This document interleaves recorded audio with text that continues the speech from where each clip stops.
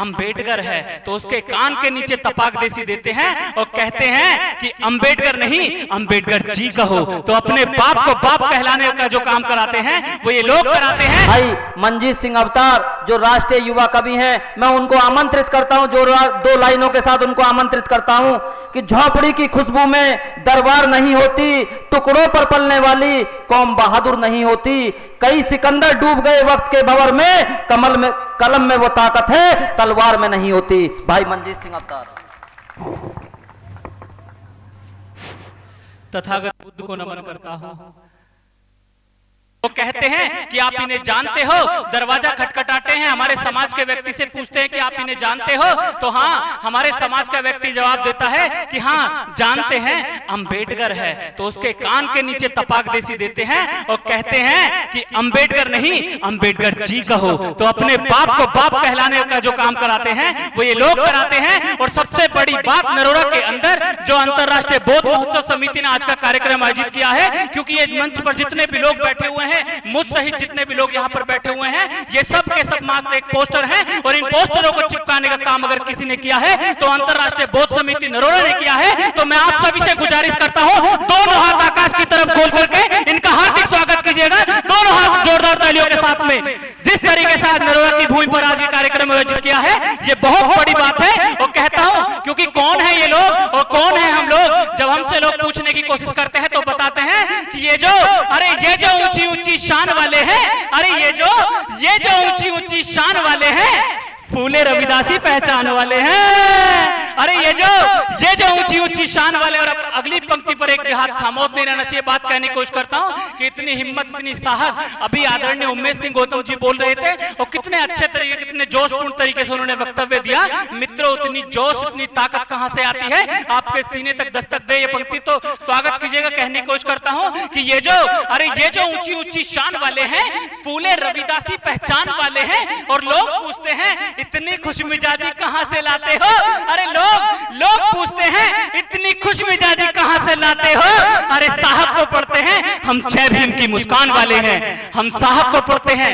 जय भीम की मुस्कान वाले हैं। और जब देश में आपसे पूछा जाए कि आपकी क्या औकात है या फिर आपसे कहा जाए कि बताइए आपका देश के लिए क्या योगदान है तो बताने की कोशिश करता हूँ। नरोरा की भूमि पर प्रथम बार बौद्ध महोत्सव में शामिल होने के लिए आया हूँ। मित्रों आप लोगों के बीच बताने की कोशिश करता हूँ। युवा साथी हमारे बीच में खड़े हुए हैं। उनसे बताने की कोशिश करता हूँ। जब भी आपसे कोई पूछता है कि आपके देश के अंदर क्या औकात या आपका देश के लिए क्या योगदान है तो उन्हें बताने की कोशिश करना कि जब जब कहीं हमारे ज्ञान की बात की जाती है तो हम शंभु ऋषि बन जाते हैं। जब जब कहीं हमारे ज्ञान की बात की जाती है तो हम शंबुक ऋषि बन जाते हैं। जब कहीं हमारी भक्त की शक्ति की बात की जाती है तो कहीं ना कहीं मन चंगा कटौती में गंगा करने वाले संश्रोमणी गुरु रविदास आपके समाज से पैदा हो जाते हैं।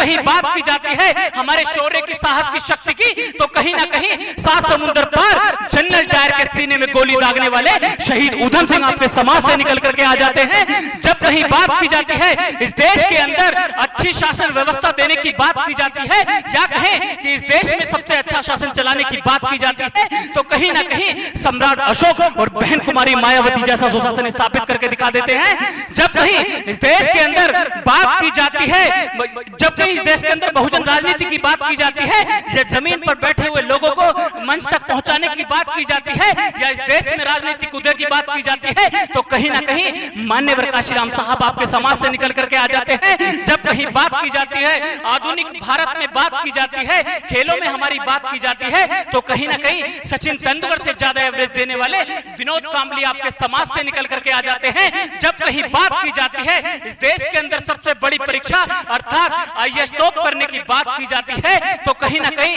आपके घर की लाडली बेटी आई टॉपर टीना डाबी निकल करके आ जाती है। और मित्रों, कल परसों एक हमला हुआ, आतंकवादी हमला हुआ, जब कहीं हमारी राष्ट्र, हमारी राष्ट्रवादिता की बात की जाती है, या हमारे अंदर के राष्ट्रवाद की बात की जाती है तो कहीं ना कहीं हमारे घर का लाडला बेटा उन्नाव से अजीत जाटव निकल करके आ जाता है और देश के लिए अपनी शहादत दे देता है। मित्रों, तालियाँ थाम कर रखिए, एक भी हाथ खामोश नहीं रहना चाहिए, जिस शख्सियत के लिए इतने बड़े बड़े नामों को मैंने गिनाने की कोशिश करी, उस शख्सियत का नाम लेने की कोशिश करता हूँ कि जब जब कहीं हमारे ज्ञान की बात की जाती है तो कहीं ना कहीं हम शंभुक ऋषि बन जाते हैं। जब कहीं हमारी प्रतिभा की बात की जाती है तो भोगते हुए कुत्ते के मुँह में तीर मार के शांत कराने वाले एकलव्य आपके समाज से पैदा हो जाते हैं। जब कहीं बात की जाती है, बहुजन राजनीति के तो मान्यवर काशीराम साहब और बहन कुमारी मायावती निकल के आ जाती हैं। मित्रों जब कहीं हमारी शिक्षा की, शक्ति की, बुद्धि की, बल की, विकास की, संगठन की बात की जाती है, या कहें कि दुनिया में सबसे बड़ा इतिहास बदलने की बात की जाती है, या कहें कि दुनिया को सबसे बड़ा संविधान देने की बात की जाती है, या कहें कि इस देश में सबसे ज़्यादा पढ़ा लिखा होने की बात की जाती है, या कहें कि सबसे ज़्यादा देशों से सबसे बड़ी उपाधि लेने की बात की जाती है तो कहीं ना कहीं परम पूज्य बोधिसत्व बाबा साहब डॉक्टर बी आर अंबेडकर आपके समाज से निकल करके आ जाते हैं तो तब कहता हूँ कि वाहरे बाबा साहब कमाल कर दिया। अरे आज तो इतना बड़ा बड़ा मंच हमने लगाया। कालीन हमारे नीचे बिछी हुई है और साथ ही साथ हम कुर्सियों पर बैठे हुए हैं। किसकी वजह से? गुन्नौर से चल के हमारे बीच में लोग आए हैं। मुरादाबाद से भाई विजय सागर जी की पूरी टीम आई है। साथ ही साथ संबल से और आसपास के जिलों से लेकर के दिल्ली पूरे भारत के लोग यहाँ पर आज इकट्ठा हुए हैं। किसकी वजह से? सिर्फ़ बाबा साहब की वजह से कि वाहरे बाबा साहब कमाल कर दिया अरे वाहरे बाबा साहब कमाल कर दिया। और कुछ भी ना थे माला माल कर दिया। अरे बाहर बाबा साहब कमाल कर दिया और कुछ भी ना थे माला माल कर दिया। अरे रैंकते फिरते थे हम ज़मीन पर तन पर कोई वस्त्र ना था। अरे रैंकते फिरते थे हम ज़मीन पर तन पर कोई वस्त्र ना था। और संविधान लिखकर तुमने धमाल कर दिया। अरे बाहरे बाबा साहब तुमने कमाल कर दिया। और एक पंक्ति 1950 से पहले की और एक पंक्ति 1950 से बाद की। 1950 से पहले की क्या स्थिति थी? और 1950 जीते जागते मंजीत सिंह अवतार को देख लेना। बताने की कोशिश करता हूँ कि वाहरे बाबा साहब, कमाल कर दिया, कुछ भी ना था माला माल कर दिया। अरे रैंकते फिरते थे हम ज़मीन पर, तन पर कोई वस्त्र ना था। संविधान लिखकर तुमने धमाल कर दिया। अरे कल अरे कल अरे कल गले में मटका, कमर पे झाड़ू थी। अरे कल अरे कल अरे कल गले में मटका, कमर पे झाड़ू थी, कल गले में मटका कमर पे झाड़ू थी, और अब तो गले में टाई जेब में रुमाल कर दिया।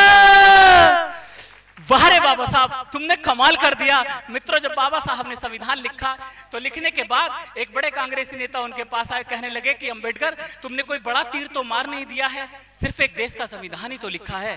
तो बाबा साहब ने कहा, अरे मूर्ख, मैंने तो इतना बड़ा तीर मार दिया है कि कल जो लोग नीचे बैठा करते थे, अब वो तखत पर बैठेंगे। जो लोग तखत पर बैठा करते थे, वो नीचे बैठेंगे। मैंने रानी की कोक की ऐसी नसबंदी कर दी है कि राजा रानी की कोक से नहीं, बल्कि जनता के वोट से पैदा होगा। तो तब कहता हूँ कि वाह रे बाबा साहब तुमने कमाल कर दिया और कुछ भी ना था माला माल कर दिया।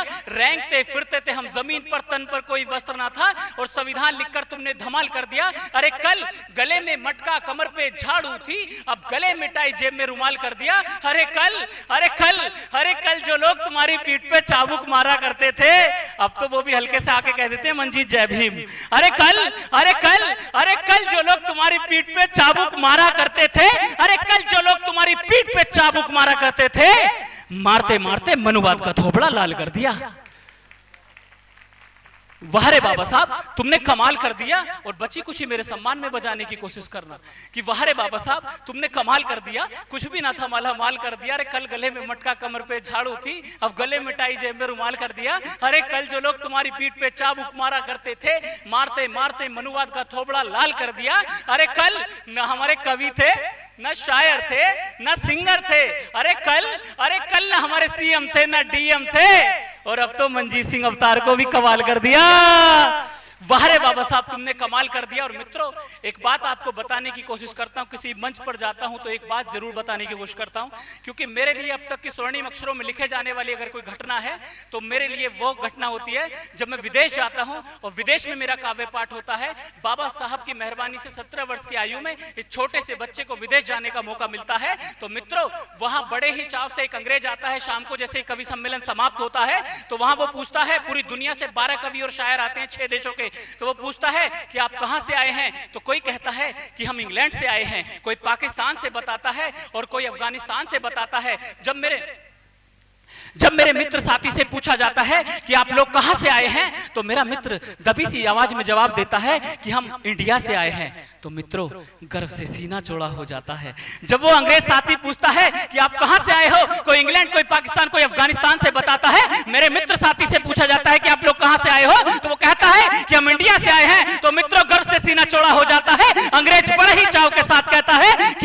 इंडिया से आए हो, जहाँ पर डॉक्टर बी आर अंबेडकर का जन्म हुआ है। लेकिन इसी देश के अंदर बाबा साहब की मूर्तियों को तोड़ दिया जाता है। इसी देश के अंदर बाबा साहब के विपरीत नारे लगने शुरू हो जाते हैं। और इसी देश के अंदर जब मित्रों बाबा साहब की एक पत्थर की मूर्ति टूटती है तो ये मत सोचो कि मात्र एक पत्थर की मूर्ति को तोड़ा गया है, बल्कि ये सोचो, जब एक पत्थर की मूर्ति का चश्मा हटाया जाता है तो ये मत सोचो कि मात्र एक पत्थर की मूर्ति का चश्मा हटाया गया है, बल्कि ये सोचो कि इस देश के करोड़ों बहुजनों को अंधा बनाने की साजिश की जा रही है। जब इस देश में बाबा साहब की मूर्ति को ध्वस्त कर दिया जाता है तो मात्र ये मत सोचो कि मात्र पत्थर की मूर्ति को तोड़ा गया है। बल्कि ये सोचिए कि बाबा साहब की विचारधारा और देश के करोड़ों बहुजनों को मिट्टी में मिलाने की साजिश की जा रही है। आप अपना संविधान बचा लो। एक इस मंच से एक बात कह करके अपना स्थान लूँगा। एक बात कहने की कोशिश करता हूँ। आप संविधान बचा लो। आपका सब कुछ बच जाएगा। क्योंकि अगर आपका संविधान नहीं रहा तो शायद आपके नीचे से कालीन भी हट जाएगी कि संविधान की धारा ये तिल तिल करके रोती है। नित नई आतंक घटना रोज उसी पे होती है। अरे संविधान की धारा ये संविधान की धारा ये तिल तिल करके रोती है, नित नई आतंकी घटना रोज उसी पे होती है। अरे घात करे जो संविधान पर उसका कातिल कौन है? इन सारे सवालों पर ये दिल्ली अब की मौन है। अरे घात करे जो संविधान पर उसका कातिल कौन है? इन सारे सवालों पर ये दिल्ली अब की मौन है। अरे घात करे जो, घात करे जो संविधान पर उसको ऐसी रोक दो। अरे घात करे जो, अरे घात करे जो संविधान पर उसको ऐसी रोक दो। और भीमराव की जय बोलो, तुम सीधा उसको ठोक दो। अरे भीमराव की जय बोलो, इसकी आवाज़ थोड़ी हल्की करो। हल्की आवाज़ करो हल्की मंदी मित्रों अभी देश में आपने देखा कि बार बार सत्तर साल हमारी आज़ादी को हो गए एक राष्ट्रीय मुद्दा उठ करके आता है, आतंकवाद का। आपने कभी गहनता से विचार किया कि इस देश में आतंकवाद इतना क्यों पनप रहा है? आखिर आतंकवादी बार बार हमले क्यों कर देते हैं? अगर आपने मनन नहीं किया तो आपको बताने की कोशिश करता हूँ, क्योंकि इस देश के अंदर बार बार आतंकी हमला इसलिए हो जाता है, क्योंकि पिछले सत्तर साल में हमने अपना बहुजन राजा दिल्ली तक नहीं पहुँचा। और जिस दिन दिल्ली पे हमारा राजा पहुँच जाएगा तो शायद ये आतंकी घटनाएँ देश के अंदर बंद हो जाएँगी। और जब इस देश में अंदर बड़ी विषमताओं वाला देश है जब इस देश के क्रिकेटर को एक शॉट लगाने के लिए करोड़ों कुर्बान कर दिए जाते हैं क्योंकि जो सेन, सेना में लोग जाते हैं सेना में भर्ती होने के लिए जवान जाते हैं वो किसान मजदूरों के घर के बेटे होते हैं। उन किसानों मजदूरों के लिए नेताओं के पास समय होना हो लेकिन इस मंच के माध्यम से पूरे बौद्ध महोत्सव समिति की तरफ़ से उनको नमन करते हुए एक बात आपके बीच रख करके अपना स्थान ग्रहण करूँगा। और पुलवामा में शहीद हुए बयालीस जो सैनिक हैं उसमें से एक हमारे बहुजन समाज का जो ज़्यादातर हमारे बहुजन समाज के लोग थे, और सभी ने अपनी शहादत दी। बताने की कोशिश करता हूँ कि बार बार आतंकी हमले, अरे बार बार आतंकी हमले भारत में क्यों होते हैं? और रहनुमा बतलाने वाले, आँख मूंद कर सोते हैं? अरे बार बार बार बार आतंकी हमले भारत में क्यों होते हैं? रहनुमा बतलाने वाले, आँख मूंद कर सोते हैं? अच्छे दिन वाला ये कैसा खेल अनूठा जारी है? आतंकी नेताओं का ये मेल अनूठा जारी है? देश की रक्षा खातिर जो सीने गोली खाते हैं। देश की रक्षा की खातिर जो सीने गोली खाते हैं, मजदूर किसान के बेटे हैं वो सेना में जो जाते हैं। अरे भारत में आतंक का उस दिन, अरे भारत में भारत में आतंक का उस दिन नाम निशा मिट जाएगा। अरे भारत में भारत में आतंक का उस दिन नाम निशा मिट जाएगा।